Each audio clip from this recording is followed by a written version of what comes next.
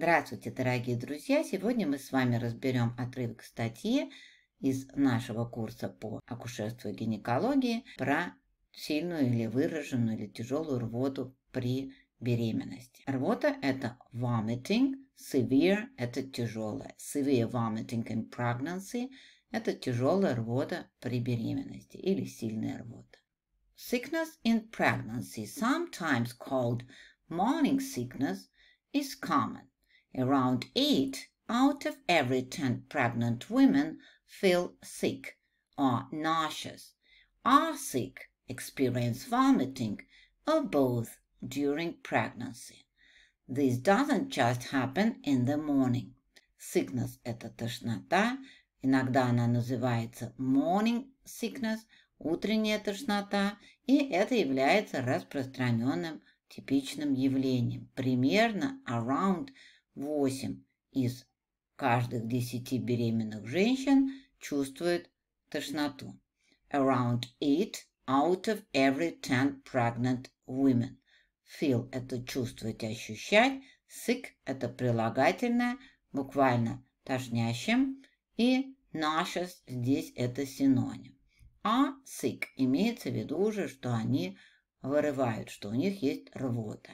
Experience – испытывать, vomiting – рвота. Both – это оба состояния. During pregnancy – во время беременности. Это не происходит только утром. Just здесь это только. For most women, this improves or stops completely by around weeks 16 to 20, although for some women it can last longer. Для большинства женщин это состояние improves, улучшается или уменьшается. Or stops completely, или проходит полностью. Completely – это полностью. К какому времени предлог by around приблизительно к 16-20 неделе. Хотя, although, для некоторых женщин it can last longer. Может длиться это состояние дольше. Some pregnant women experience very severe nausea and vomiting. They might be sick many times a day and be unable to keep food or drink down, which can impact their daily life. Некоторые беременные испытывают очень выраженную, очень тяжелую, очень сильную тошноту и рвоту. They might be sick Они могут вырывать many times a day, много раз за день. And be unable, и могут быть неспособными, unable to keep food or drink down. Keep down имеется в виду удерживать.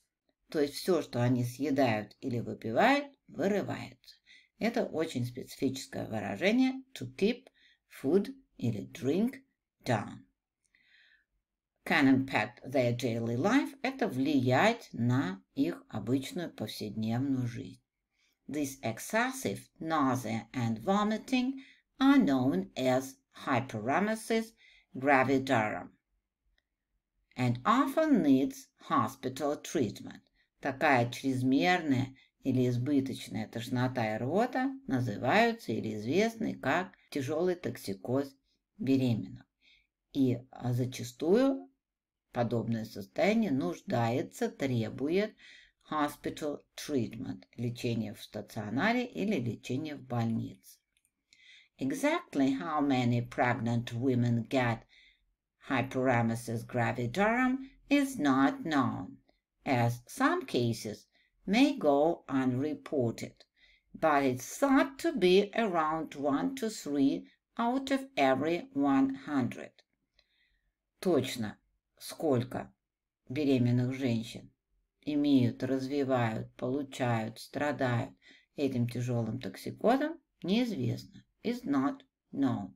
Так как, S здесь это так как, some cases, так как some cases, некоторые случаи may go unreported, буквально могут пойти недоложенными. Но, конечно, мы так не говорим, мы скажем, могут остаться незафиксированными, незарегистрированными, не задокументированными.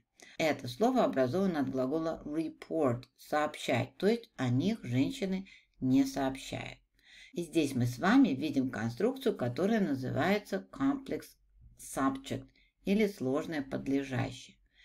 Если вы не знакомы с этой грамматической структурой, обязательно ее изучите или приобретайте наш курс по грамматике в медицине, так как такое грамматическое явление очень часто встречается в медицине на английском и нужно понимать, как оно образуется и как переводится. Ну а пока мы с вами просто переведем, считается или полагают, что примерно от одной до трех женщин из 100 беременных страдают этим сильным токсикозом. If you are being sick frequently and cannot keep food down, tell your midwife or doctor or contact the hospital as soon as possible. There is a risk you may become dehydrated and your midwife or doctor can make sure you get the right, appropriate or proper treatment. Если вас часто рвет и вы не можете принимать пищу, сообщите, расскажите вашей акушерке или доктору, или обратитесь в больницу как можно скорее, так как существует риск, что может возникнуть дегидратация или обезвоживание, а буквально вы можете стать дегидратированным, обезвоженным, и а, ваша акушерка или врач смогут убедиться, что вы получаете правильное, подходящее, соответствующее лечение. Правильное лечение – это либо right treatment, либо appropriate treatment, либо proper treatment. Если это видео было вам полезным, обязательно подпишитесь на наш канал «Медицинский английский» с Татьяной Глушковой и напишите в комментариях, на какие темы вы бы хотели увидеть мои видеоуроки. Для тех же, кого интересует акушерство и гинекология, у нас есть отдельный курс. Пишите, и мы с удовольствием поможем вам выучить медицинский английский, необходимый для вашего профессионального роста.